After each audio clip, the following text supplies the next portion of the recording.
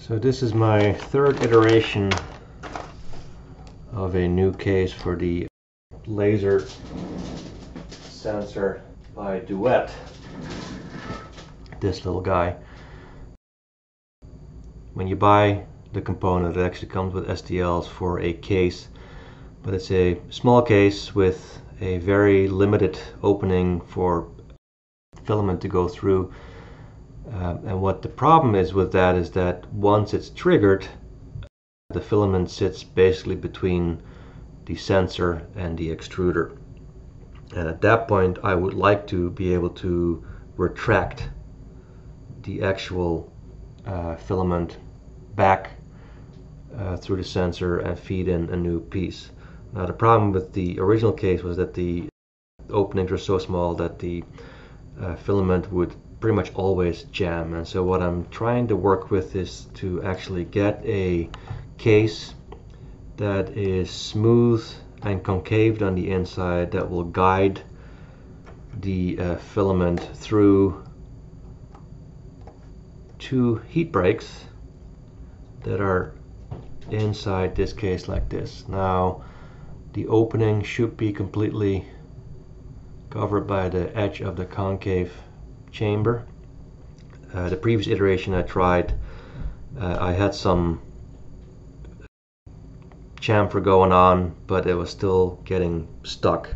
And so what I'm trying to get to is the right shape to actually have the filament go up again and then out.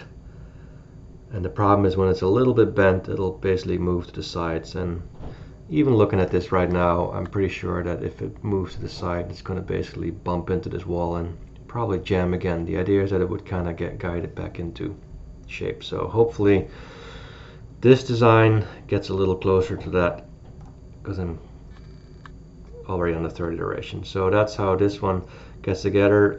Now the instructions for the actual case are to make it out of black plastic Everything on my printer is white, as you might have seen in my previous video. So I printed it white and I basically painted the chamber uh, black so that when this actually gets attached in there, it doesn't really matter whether it's printed black or white.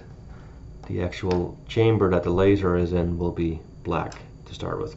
Now I know that the sensor works because I've already tried it with my white filament and it's already detected a jam that I kind of forced onto it and also running out of filament it, it immediately triggers it. Now the one downside about this thing right now is that when it triggers it just pauses the print.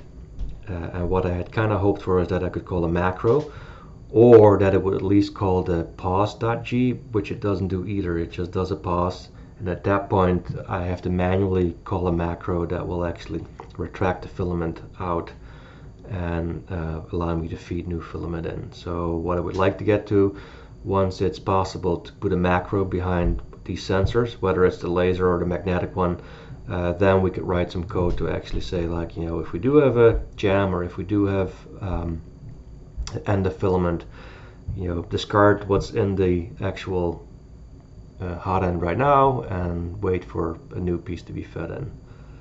All right, so I'm going to let the paint dry I just painted it and then we're going to assemble the case again and we'll test and then we'll find out whether or not the filament will find its way back through the uh, the heat break. And now the nice thing about the heat break is like once it gets in there there's a concave shape inside the actual heat break itself. So it should guide it right through but it's the challenge of actually getting it from the bottom tube feeding back and then making its way to the top heat break. And once I get that, then I should be good to go. All right, I'll keep you posted on how this works.